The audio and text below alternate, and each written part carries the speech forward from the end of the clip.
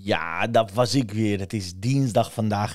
3 augustus, dames en heren. Goed dat je aan het luisteren bent. Again, ik dacht een uh, aparte intro voor je uitspreken. En weet je, deze intro is dan de allerlaatste intro dat ik op deze manier voor je uitspreek. Gisteren heb je het al gezien. Het gaat om de herhaling van de Ideal Client Strategy. En hoe je hiermee daadwerkelijk het verschil kunt gaan maken. Vandaag gaat het over de vijf meest gemaakte fouten van ondernemers bij Ideal Client Strategy. Ga checken. Maar vergeet ook niet om te checken eh, naar de website van dailybusinessboost.com. Want daar staat echt de thuisstudiecursus Ideal Client Strategy speciaal voor jou. In plaats van 697 euro voor maar 17 euro. Ga checken. Ik bied je het graag aan. Ook al ben ik op vakantie, heb ik dit als cadeautje voor jou. Voor meer dan 680 euro voor jou in petto. Ik hoop dat je het gaat luisteren. Want weet je wat het is? Ideal Client Strategy is het fundament waarop mijn business op staat. En dat gun ik jou ook. Anyways, zometeen komt de intro. Ik wens je een prachtige mooie dag. Een hele goede uitzending. En zie je volgende week maandag of aanstaande maandag 9 augustus uh, zien we elkaar weer. Dankjewel voor het beluisteren en downloaden. En tot gauw. Doeg! Welkom bij de Daily Business Boost Live Show. Welkom bij de Daily Business Boost. Mijn naam is Aramik en ik neem je in deze show mee in mijn ondernemerswereld. En ik help jou door het delen van de beste tips en tricks om je business dagelijks te laten groeien. Vandaag is jouw tijd, dus let's get louder.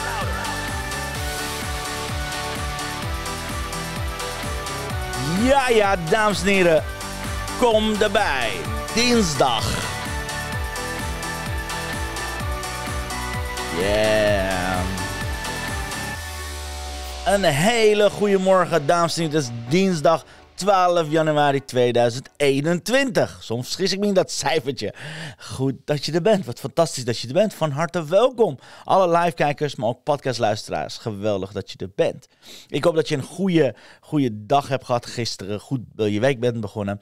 En uh, vandaag is het dinsdag. Dinsdag is normaal gesproken mijn blogdag. Vroeger toen ik, uh, heel lang geleden, toen ik geen podcast deed, was dat iets meer rust op de maandagavond. nu heb ik iedere dag dat ik een podcast doe, is het totaal de week veranderd. Maar vroeger was de blogdag de belangrijkste dag. Dus dinsdag blogdag. Check mijn blog met 99 redenen om mee te doen aan de online business campus die al aankomende vrijdag gaan beginnen. En ik heb een beetje uh, zo ingestoken, de blog. En uh, mensen zeggen van, nou, na 178 blogs, hoe kom je aan je onderwerp of idee? Nou ja, zo. Soms, ja, het leven geschreven, maar soms ook. Ik heb hem zo geschreven dat er 99 redenen zijn. En die zijn eigenlijk inzichten en resultaten die ik aan de deelnemers heb gevraagd. Van de online business campus van vorig jaar. Dus ik heb een aantal van die deelnemers gevraagd van, wil je alsjeblieft drie meest uh, belangrijkste inzichten, die drie beste resultaten met me delen? En dan daarvan heb ik dus 99 dingen onder elkaar gezet. Hun woorden, hun inzichten. En weet je, zal ik je wat vertellen?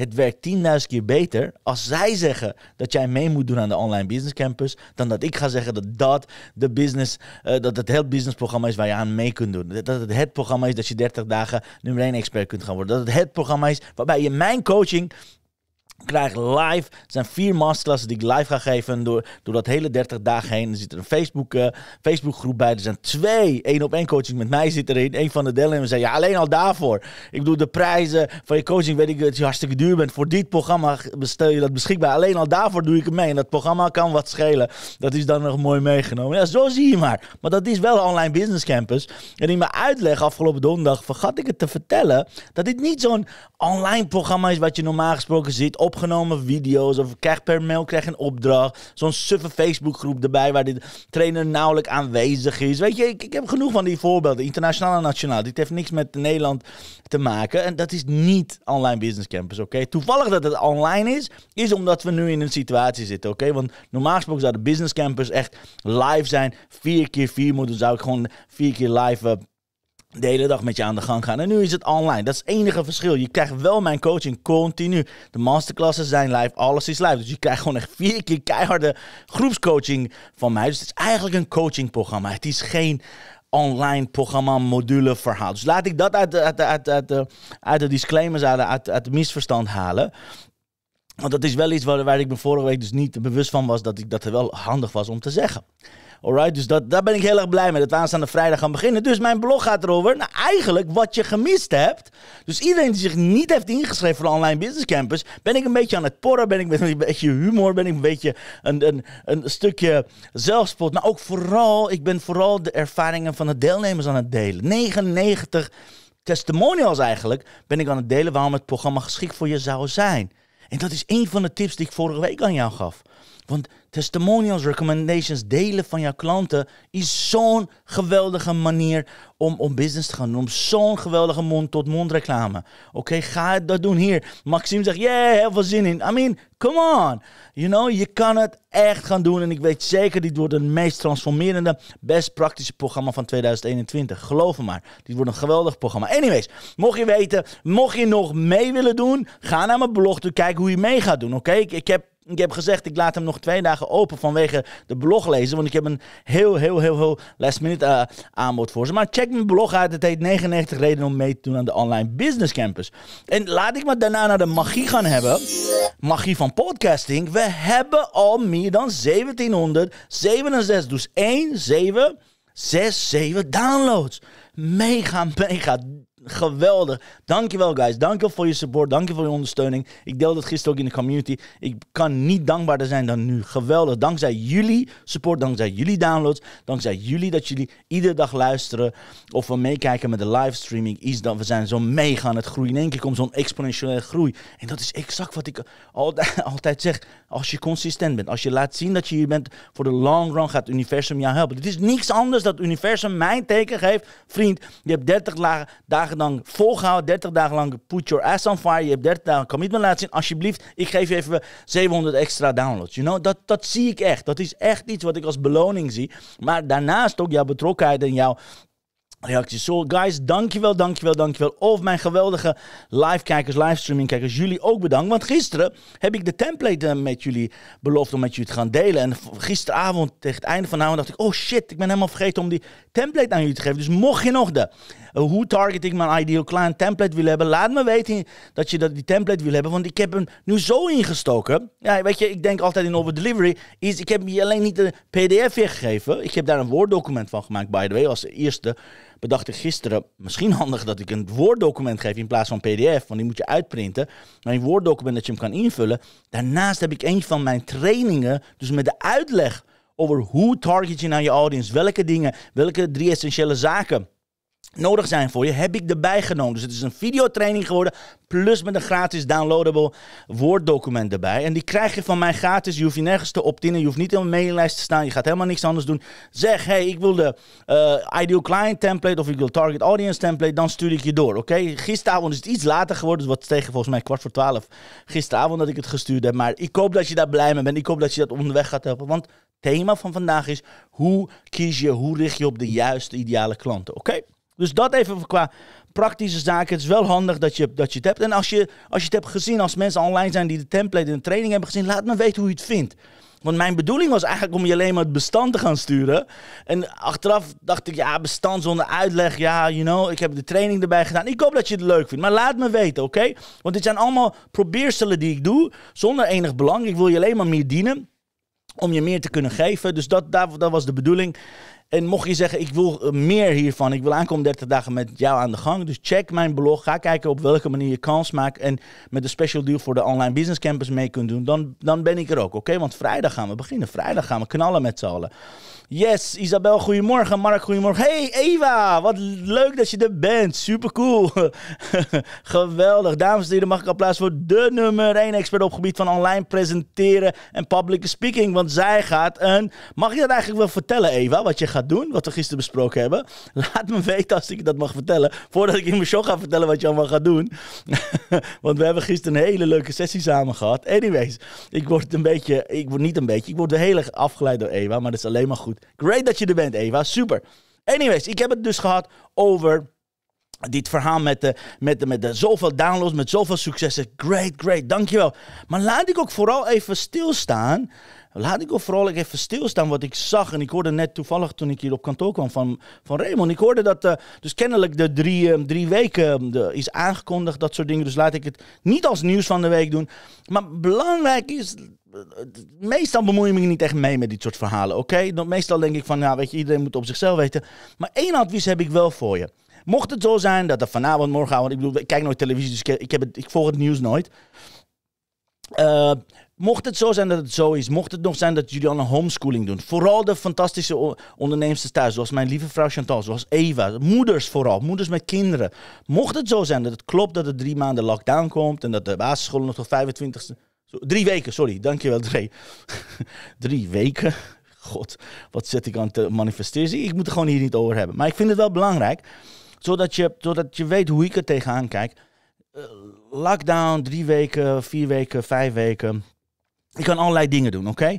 Want het is uitge uitgelekt natuurlijk. Dat is makkelijk. Dat doe ik met kinderen ook. Als ik wil dat ze iets niet doen, dan ga ik het heel langzaam, langzaam inbrengen. Dus met uitlekken daarvan is net zo'n strategie als je met kinderen gaat doen. Want dat weet je alvast een beetje inmasseren met slechte nieuws. Door het al een beetje, een beetje te laten uitlekken. Als het goed is, doe je dat met kids ook. Als je een eh, grote beslissing of straf hebt, ga je dat langzaam brengen.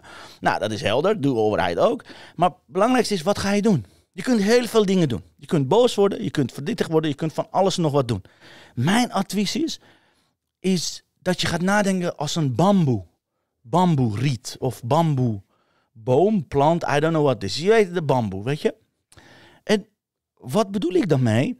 Weet je, als er grote storm komt, als er grote tsunamis komen, tornado's komen, de bomen, de grote bomen die heel veel wind vangen, die kunnen tot een bepaalde manier kunnen ze tegen, tegen de, de storm. Tot een bepaalde manier kunnen ze tegenaan. Oké, want, eh, want storm vliegt van alles nog wat weg. Breekt van alles nog wat af. Hoge bomen, zelfs de sterkste standvastige bomen, die breken gewoon. Oké, want dat is namelijk wat het doet. Een tornado of een storm of wat dan ook. Zie dit dus als een storm. En wat je wil doen, denk altijd aan de bamboe. Wat doet de bamboe altijd? De bamboe buigt altijd mee. De bamboe breekt niet omdat het meebuigt. Die heeft de knie zeg maar niet op slot zoals die grote bomen. Die buigt altijd mee. Dus denk als dingen moeilijk gaan, net als nu als je zo'n nieuws hebt gehoord. Ik bedoel, ik, ik schrik er niet meer van, van dit soort verhalen. Maar het is wel belangrijk dat je, dat je, dat je het visualiseert dat je net een bamboe bent. Dus beweegt altijd mee.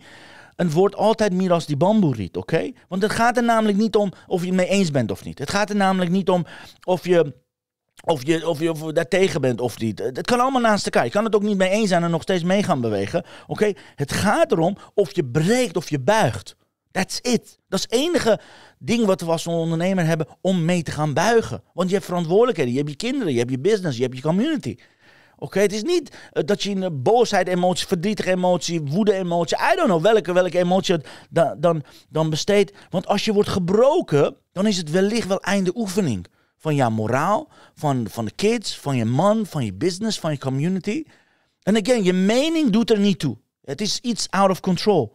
En als je, meeba, als je mee zal buigen als een bamboe, ik durf te wedden, dan ga je vanzelf op een gegeven moment recht staan het moment dat de stor- storm afloopt. Oké, dat is wat ik je gun. Ik gun je de bamboe beweging. Ik, ik, ik gun je de bamboe methode. Oké? Dus ik hoop dat het iets is waar je wat mee kan. Ik kreeg het net horen van Raymond. Dacht ik, misschien handig dat je, dat je een advies van mij krijgt. Amateuristisch advies. Wie ben ik om je advies te geven? Maar ik weet dat jij als mijn doelgroep, als mijn kijker of luisteraar, hiermee te maken hebt. Dus ik gun je de bamboe methode. Dus iedere keer dat je denkt van, oh, het wordt me te fel. Denk aan de bamboe. Zet een zen muziek in. I don't know. Whatever. Beweeg mee. Zorg dat je knieën niet gesloten zijn. Dat was met dansen al zo. Ik heb jarenlang gedanst. Eerste fout wat je als danser moest vermijden was dat je knieën op slot gingen. Tenzij de Engelse wals deed, want dan moest het zo. Maar nog steeds was een kleine buiging, zodat je altijd flexibel was. Je was niet volledig, je stond niet volledig, zeg maar, helemaal vast op de grond. Je moest gewoon op je tenen gaan dansen. Dat is het allermoeilijkste wat er is, by the way, op tenen dansen. Just that you know. En dan, dan, dan val je makkelijker. Maar in dit geval zou ik je aanbevelen om knieën iets meer buigen, iets meer flexibel zijn.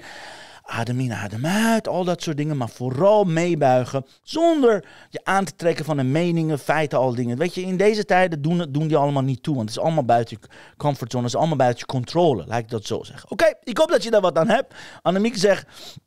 Bamboo Power, yes, yes, yes. Great, great. Anyways, dus dat is, dat is, dat is even ter, ter, ter, eh, ter meenemen. I don't know what it is. Ik wil die even mee gaan geven. Maar ik heb namelijk iets anders voor je. Het nieuws van de week. Veel beter nieuws voor je. Want ik heb gisteren besloten om de 7 social selling strategie training nog een keertje te gaan doen. En dan wel op 4 februari, dames en heren. Dus je kunt je nu aanmelden als je het webinar hebt gemist afgelopen donderdag. Check it out, www.aramiekonline.com. Je kunt meedoen, je kunt je nu al inschrijven. En je kunt ervoor zorgen dat je echt erbij bent. Want die 7 social selling strategie gaan je heel veel helpen. Dat is helemaal vanuit praktijk meegenomen. Exact wat ik afgelopen jaar heb gedaan, wat me succesvol maakt. Maar ook dit stukje podcast, dit stukje livestreaming zit er ook bij als een van de strategieën. Dus check it out, www.aramiekonline.com. Zorg dat je erbij bent, alright? Dat is wat, eh, wat ik eigenlijk als prak- praktische zaken met je wil doornemen. Al nou, 14 minuten zit ik al te lullen. Anyways, ik zou het kort houden, mijn podcast. Nou, het is vandaag ietsjes minder gelukt. Anyways, anyways. En ehm, waar zou ik het vandaag hebben? Vandaag wil ik het heel graag met je over hebben over de vijf meest gemaakte fouten van ondernemers. Welke fouten maken ondernemers nou het moment dat ze over ideale klanten gaan hebben? Laat ik jouw vraag stellen. Hoeveel van jullie heeft een heel helder, specifiek ehm, eh, ideale klantenprofiel? Dat je exact weet hoe oud ze zijn, waar ze wonen, welke hobby's hebben, wat hun pijnen zijn, wat ze lezen, wat ze doen. Al. Laat me in de chat weten, want dat is namelijk fout nummer één. De meeste ondernemers beginnen niet, niet eerst met hun doelgroep te definiëren. De meeste ondernemers beginnen eerst met het creëren van een product. Het leren hoe je moet verkopen. Met allerlei skills. Hartstikke leuk. Wat je in de fase 2 en 3 nodig hebt. En ze vergeten fase 1. Stap nummer 1 is definitie van je doelgroep. If you cannot define them, you cannot find them, dames en heren. Als je ze niet kunt definiëren, als je niet weet of het om een man gaat, of een paard, of een hond, of een vrouw, dan heb je een probleem. Als je niet hun leeftijd weet en je zegt, ah, alle vrouwen tussen 20 en 60 kan ik helpen. Hoe dan? Er zijn ongeveer 85 doelgroepen al in die leeftijdscategorie. Als je zegt, ja, ik wil iedereen in Nederland helpen. Nou, dat is net zo vaag, net zo valikant mislukken als de rest van het verhaal. Dus wat, je, wat, je, wat de meeste gemaakte fout is, ondernemers beginnen eerst met productcreatie voordat ze over doelgroep denken. Dat is fout nummer 1. Fout nummer 3 is, ondernemers, experts denken meestal dat ze het al lang weten. Betekent wat?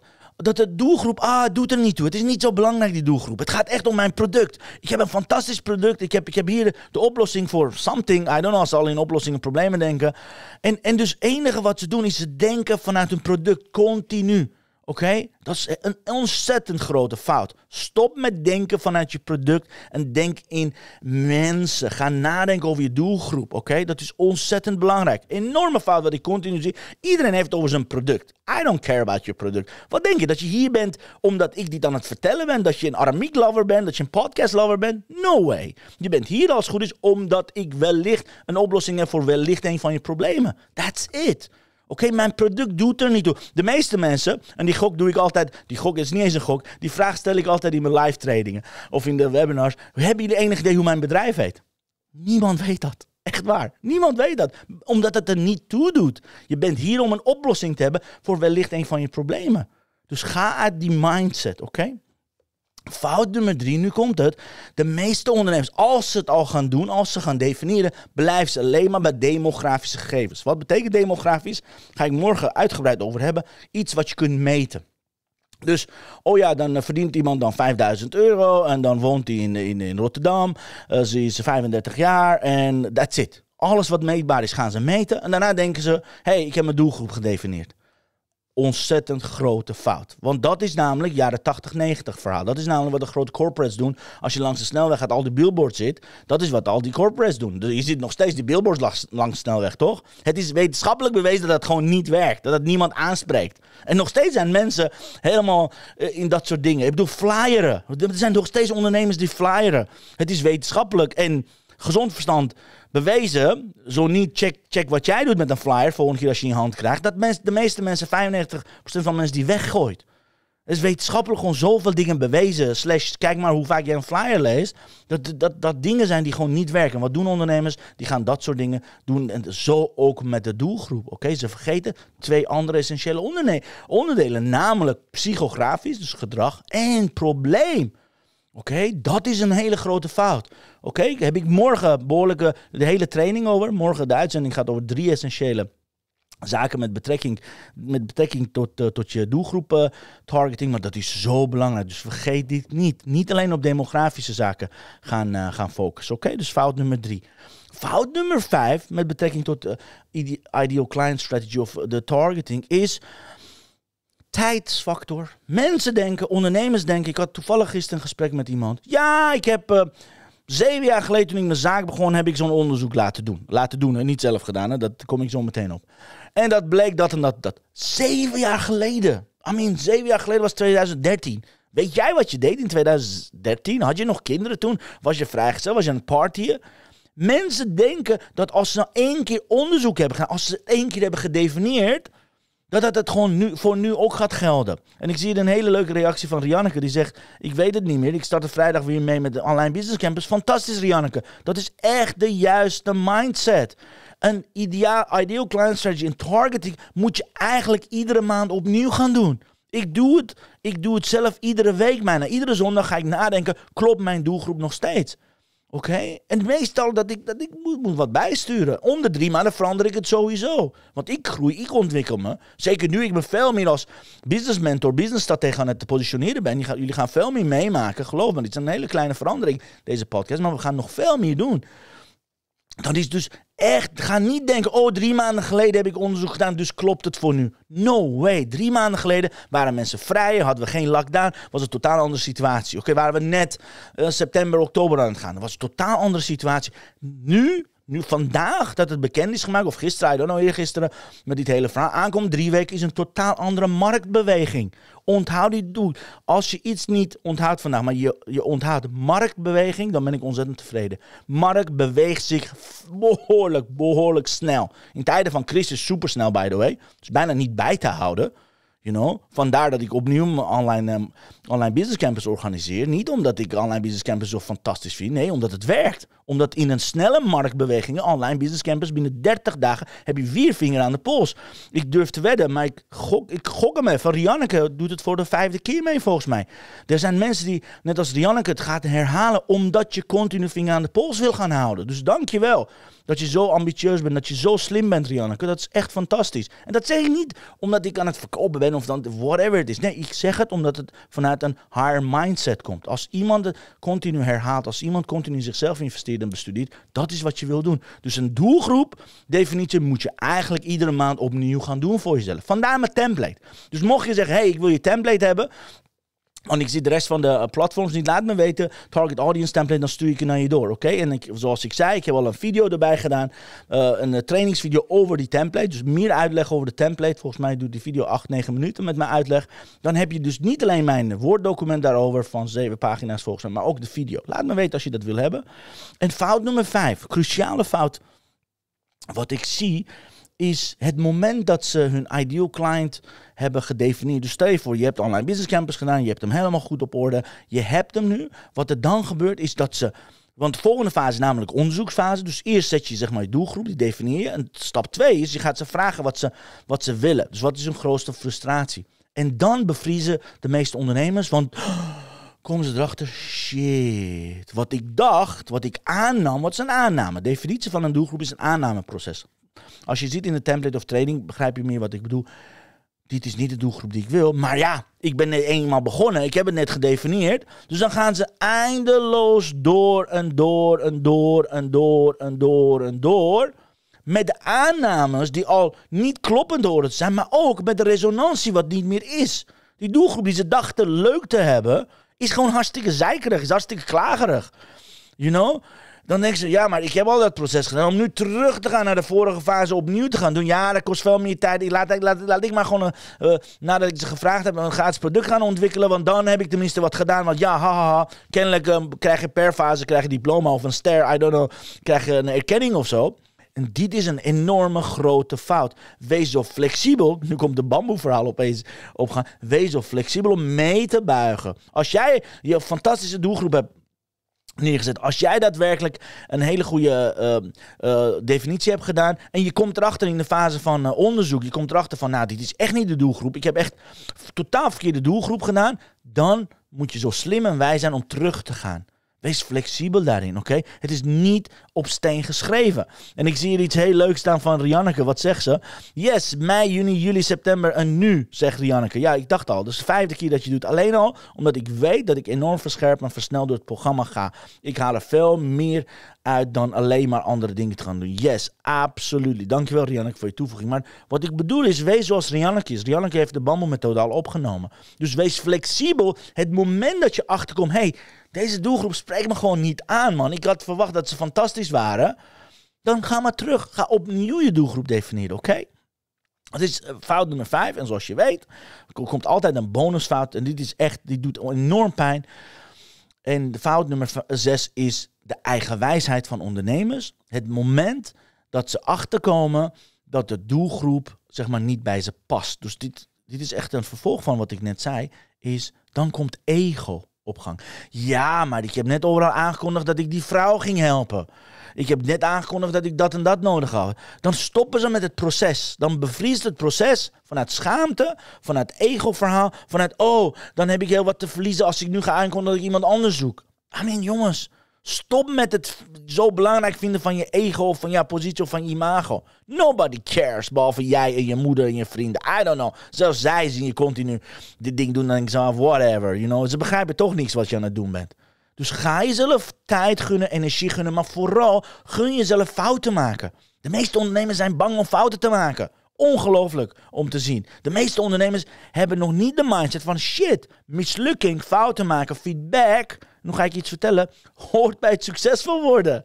You know, hoort bij het succesvol worden, dames en heren. Als ik, sorry, als ik niet zoveel fouten had gemaakt, als ik niet iedere dag nog steeds fouten maak, zal ik never nooit succesvol worden. Dus fouten maken, mislukken zoals mensen dat heel graag doorheen willen wrijven, hoort bij het proces van groei, van succes en van daadwerkelijk positionering. Onthoud dit, neem dit mee. Ze zeggen altijd: feedback is the champion's breakfast. Oké? Betekent je moet feedback als ontbijt opnemen, niet persoonlijk opvatten. Oké? Anyways, dit waren de zes meest gemaakte fouten. Zorg ervoor, zorg ervoor dat je deze fouten niet gaat maken, oké? Want dat, is enorm, dat zou enorm zonde zijn. En Rianneke zegt, ja, dat was echt een domper. Want ze kwam inderdaad, dacht dat niet haar ideale klant bleek. Maar haar positionering klopte toen ook niet. En hierdoor heb ik rigoureus durven te kiezen voor mijn echte doelgroep. Stroomt alles ineens. Dat is wat je wil. Met doelgroep stroomt het ineens, want... Het grote voordeel is, het moment dat je content gaat creëren, gaat het resoneren met de juiste doelgroep. Het moment dat je je boodschap gaat verkondigen, dan resoneert het met alles. Oké? Dat is het voordeel. Dus ik gun je een Rianneke-strategie hiervoor. Anyways, dankjewel alvast dat je hebt geluisterd. We gaan naar het laatste onderdeel. Blessing of the day. Yeah.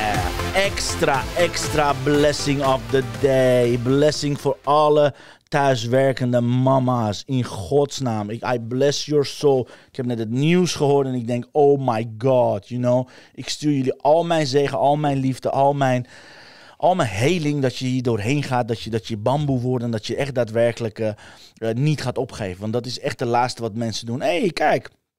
Dat is dan de boodschap voor alle mama's. Ga kijken of je vandaag dit gaat lukken. Dit is een beetje anti, anti, anti. En wat zegt het? Sometimes the most productive thing you can do is to just relax. Dus kijk of je een moment hebt om te gaan relaxen. En mocht je deze kaarten willen aanschaffen, check de special deal van een kaartendek van mijn lieve vrouw Chantal via www.mixmediafan.nl. Check it out. Het zijn zulke mooie kaarten. Ze krijgt steeds meer gave, gave reacties erop. Gisteren had ze aantal recommendations erop gezet. Geweldig. Mensen worden echt helemaal blij. Dus mocht je blij willen worden met de kaartset, check it out. Ga het doen. En zorg ervoor dat je Zorg ervoor dat je dat zo snel mogelijk aan gaat schaffen. Ik beveel het van harte aan. Anyways, anyways. Dit was het voor vandaag iets langer dan ik had gewoon. Maar nevermind. Ik wilde je even geven wat ik op mijn hart had. En yes, inderdaad, er is een nieuwe kans. Zo. Oh, ik zet het tegen mijn microfoon aan. een nieuwe kans. 4 februari 2021. De 7 Social Selling Strategie anno 2021. Je kunt je aanmelden via www.aramiekonline.com. Ik heb besloten om het nog een te gaan doen. En yes, het is nog steeds gratis. Ga me niet continu vragen is het echt gratis? Ja, het is echt gratis. Je krijgt twee uur lang van mij de training. Ga ervoor, zorg ervoor dat je erbij bent. Als je nog niet aangemeld bent, zorg dat je dat gaat doen. En yes, Annemieke zegt il dolce far niente. Ik bedoel, hey Annemieke, dit is jouw positionering. Mensen leren hoe ze dit moeten doen. Dankjewel voor het kijken. En morgen ga ik dieper op in op drie essentiële onderdelen. Ik heb al wat vandaag, vandaag al gezegd. Drie essentiële onderdelen van het targeten van je audience. Mocht je de template nodig hebben, laat me weten. Zorg ervoor dat je je target audience zo goed mogelijk gaat doen. Dat is namelijk wat we doen. Wij zijn ondernemers. Wij zijn de kracht van de economie. Onthoud dit. En ik zie je graag morgen om 10 uur. Dankjewel guys. I love you. Dankjewel voor alle downloads die jullie hebben gedaan. Ga zo maar door. En ik zie je graag morgen om 10 uur. Same place, same time. Dankjewel voor het beluisteren. En zie je morgen.